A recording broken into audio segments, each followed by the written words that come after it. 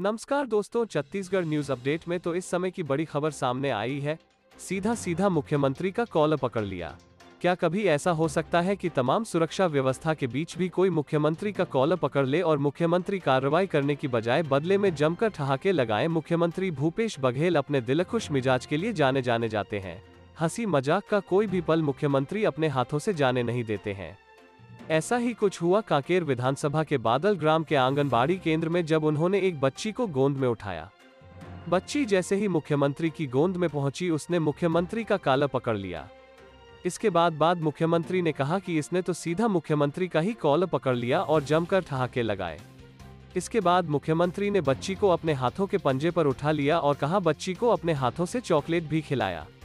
मुख्यमंत्री के इस खुशमिजाज रूप को देखकर हर किसी के चेहरे पर मुस्कुराहट फैल गई। इसके बाद मुख्यमंत्री आंगनबाड़ी के रसोई में भी पहुँचे और अपने हाथों से माता और शिशुओं को मिलने वाले गर्म भोजन का निरीक्षण किया।